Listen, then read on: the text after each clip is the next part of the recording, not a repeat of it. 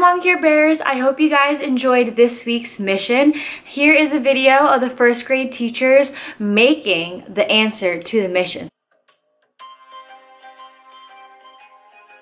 What you are going to need is some flour, salt, some Greek yogurt, the plain non-fat kind. These are optional, but I like to put them in some garlic and onion powder. Stir, stir, stir, stir, stir until it's all um, stirred up and mixed together and it looks like dough.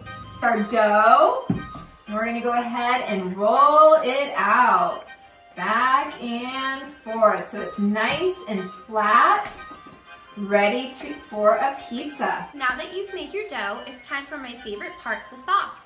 I already have it cooking and I cannot wait to show you.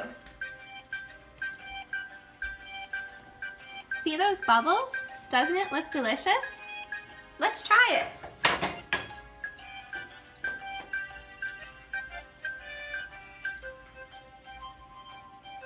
Mmm, molto bene. When you're making your pizza, don't forget the most important ingredient, cheese. Cheese is also my favorite ingredient. When I order a pizza or make pizza at home, I always put extra cheese on my pizza. I'm going fishing. See what I caught. A sardine. It's time to put the pizza in the oven.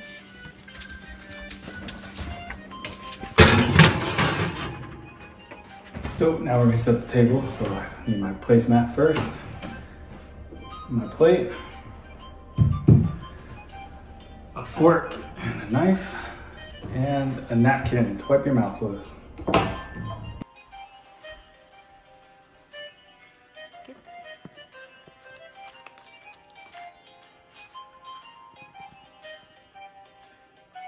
Hi guys, miss you. Enjoy your pizza. I hope your pizza turns out delicious.